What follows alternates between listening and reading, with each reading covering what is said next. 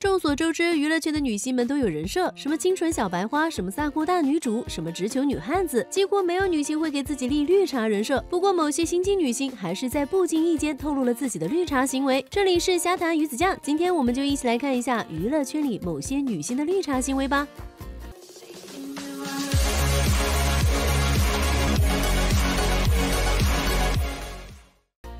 二零二零年播出的小甜剧《传闻中的陈芊芊》，让赵露思这个名字刷屏各大社交网络平台。那会儿刚走红的赵露思，可爱娇俏，笑容甜美，甚是讨喜。但是赵露思可不像明面上看起来那么清纯，她的攀比心理十分强。出道短短几年，就把娱乐圈的同行前辈得罪了个遍，而且手段极之拙劣。她先是全网通稿营销自己是赵丽颖接班人，接着在自己主演的电视剧《我喜欢你》开播后，又暗讽周冬雨电影版的《喜欢你》很垃圾。更过分的是，她还多次手滑点赞其他女明星的黑帖。在肖战被全网黑的那段时间，赵露思也不忘掺上一脚，蹭昔日顶流的热度。这件事情还得从一张截图说起。某天网上突然传出一张赵露思表白肖战的截图，霎时间闹得满城风雨。本来这张截图是有人故意恶搞，赵露思工作室澄清后，安静等待舆论风波过去就可以翻篇了。没想到赵露思不仅没沉住气，反而火上浇油，发了一条查理查气的文案，正面回击，没有伤害任何人，所以不该不开心。此文案一出，各家粉丝都惊呆了，纷纷指责他落井下石不够，还要立一把清。清白白人设吃相史书够难看的，最终赵露思的这波操作不仅引起吃瓜群众的强烈反感，路人缘败得一塌糊涂，还被余震内涵绿茶。不过这件事好像对赵露思没有任何影响，她仍不肯消停，依然奋斗在炒作这条路上。和吴磊合作完《星汉灿烂》后，又发通稿狂炒 CP 红利。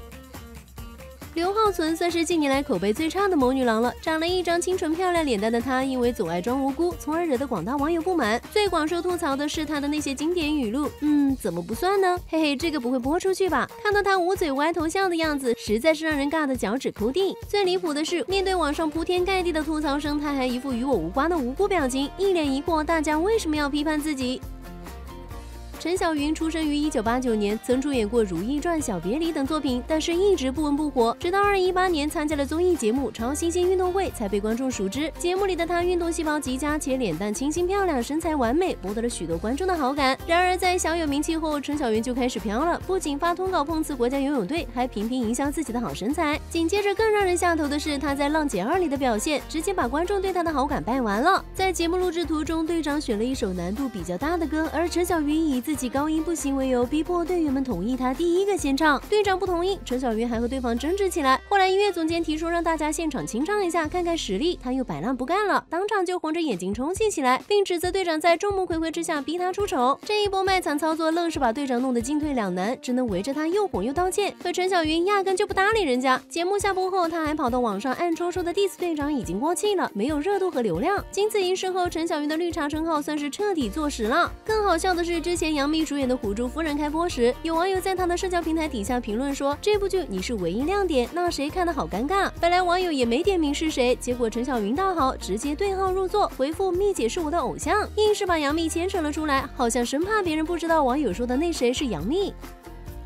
一直以来，鞠婧祎给人的印象就是假，甚至在很多观众心目中，她的美是掺着水分的。打从出道开始，鞠婧祎就营销各种各样的人设，比如说自己是天生丽质的美人，而且发量又多，身高也要各种谎报。鞠婧祎的绿茶事迹也不少，比如一口面包嚼七八十下，切个菜也是柔柔弱弱的，颤颤巍巍无从下手。而她以前明明还在节目上表演过做菜，那时候的她可是得心应手，几年时间不到就变成了十指不沾阳春水的厨房小白。这种前后矛盾的事情在她身上发生过不止一次，例如她。每年跨年都会在社交平台上发告别文案，可转头又在节目里一脸单纯的说：“我不知道今年是二零一二年还是二零一三年。”顶着天才大提琴少女的光环进入演艺圈的欧阳娜娜，尽管出道以来就饱受争议，被观众批判演技差、绯闻满天飞，但其资源和流量依旧源源不断。别看欧阳娜娜年纪小，她的心眼其实很多，而且社交能力非常强，几乎每参演一部作品就能收割好几个男神，并且她还能利用这些关系打入新的圈子。早在二零一三年参演《北京爱情故事》时，她就和国民弟弟刘昊然传出过绯闻，那时候两人经常被拍到私下玩耍吃饭。二零一五年参演电影《破风》时，彭于晏、崔始源、窦骁也都。又依次和他传出过暧昧不清的绯闻。二零一六年拍摄电视剧《是上先生》时，他则全程围着陈学冬转。后来两人在某次活动中遇到，欧阳娜娜穿着一条迷你小短裙，就直接飞奔扑到陈学冬身上挂着，弄得陈学冬一时间手足无措。一旁的女嘉宾也看得一脸尴尬。二零一七年拍摄电影《蜜果》时，欧阳娜娜又认识了陈飞宇，在合作期间，两人的互动十分暧昧和亲密。参加潮流合伙人二时，他扬言自己带的衣服不够，而在周扬青明确表示我可以借给你之后，他却没接茬，转头就穿上了范丞丞的衬衣。后来在未经过威廉同意的情况下，他又堂而皇之的进入对方的房间，公然试戴对方的饰品、衣服以及贴身睡衣睡裤。更得寸进尺的是，和威廉互动时，欧阳娜娜还喊威廉爸爸，搞得威廉一脸蒙圈。如此多令人匪夷所思的行为，也怪不得网友说欧阳娜娜是顶级绿茶了。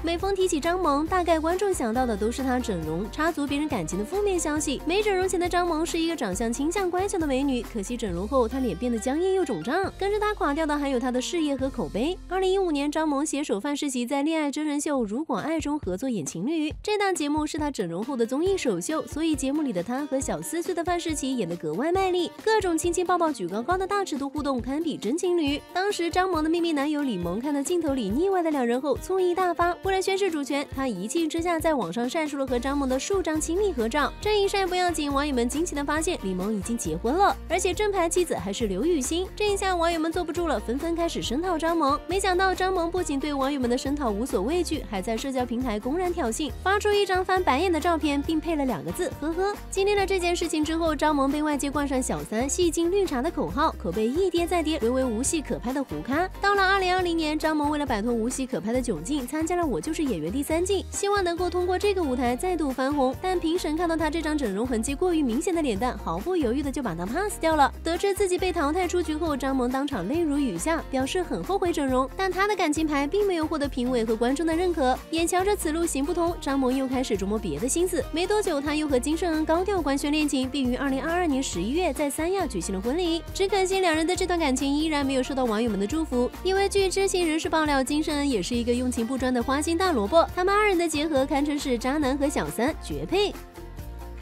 袁姗姗的绿茶属性还得从一档综艺节目说起。在综艺《青春环游记》中，他们几个老同学相聚，张小斐去洗澡没回来，袁姗姗问一个男同学张小斐睡觉是不是打呼噜，被问到的那个男生明显慌了。得到回答之后，袁姗姗哈哈大笑。之后张小斐出来了，袁姗姗又开始嘲笑张小斐。后来张小斐专门发文澄清自己真的不打呼噜，袁姗姗又巴巴的跑去留言打呼噜怎么了？找个比你呼噜声大的男朋友就好了。要说娱乐圈的鲜肉收割机，杨幂肯定算其中一位。杨幂会聊在娱乐圈是出了名的，口说无凭。我们来举例说明。拍摄《亲爱的翻译官》时，杨幂总会有意无意的与黄轩靠近，天气冷的时候还会把手伸进黄轩的口袋里取暖。录《明日之子》时，杨幂在台上自顾自的玩华晨宇衣服上的带子，还玩华晨宇的头发，那动作连粉丝都看不下去了。录《王牌对王牌》时，杨幂笑着笑着就往曾志伟的肩上靠。总的来说，娱乐圈的绿茶女星真的不少，她们表面上看似清纯小白兔，实际上一个比一个会装。虾米家们，你们知道娱乐圈还有哪些女明星非常绿茶吗？在评论区留言你的想法，关注点赞我，这样子为你带来更多有趣盘点。我们下期再见吧。